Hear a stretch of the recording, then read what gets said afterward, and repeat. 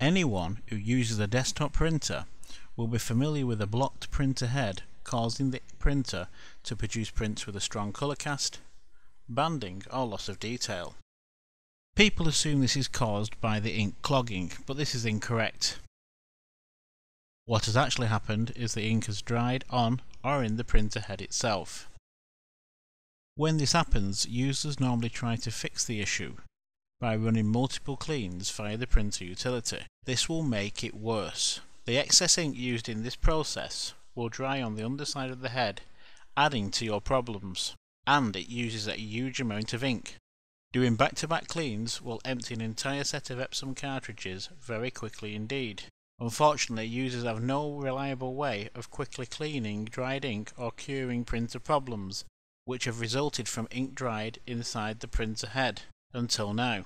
Until recently, the product I'm going to show you was not available to the public. It was only used by printer technicians. It does not contain IPA or any other chemicals that will harm your printer head. Magic Bullet is a specially formulated surfactant that breaks ink particles down very quickly or without causing any damage to your printer. For this demonstration we have an Epson R2400 with a blocked head. This printer has not printed for over 6 weeks and it's evident from this test print that some of the nozzles are blocked. Let's see how we can quickly fix this with Magic Bullet. First we remove the cartridges. I have already done this prior to filming to save time. Next we press the ink cartridge change button and remove the power cord from the rear of the printer. This allows us to move the cartridge older carriage freely.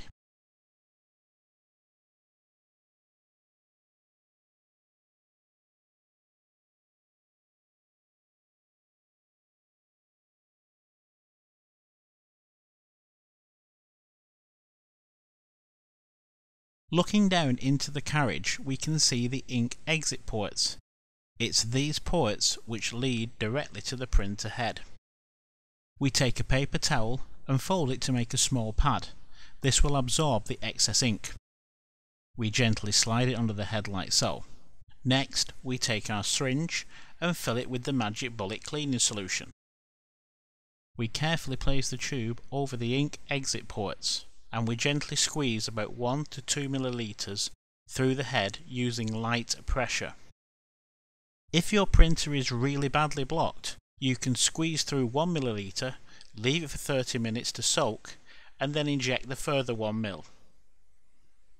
We'll continue this process with all the other channels.